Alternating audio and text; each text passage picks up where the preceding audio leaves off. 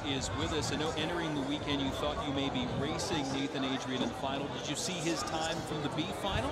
Uh, I did not know. I was, I was actually talking to Jason Lezak, big fan, but he was over there, so I didn't get to see the race.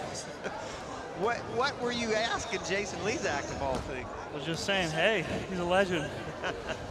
Well, you're becoming pretty legendary yourself. What do you think about that race? Um, I'm pretty happy with it. Uh, Troy just wanted me to kind of let it happen going out. So I try not to look at anybody actually going out and just do my own thing. Um, so yeah, I'm pretty happy with it. 23 mid going out. Nice swim. Thank you. Caeleb Dressel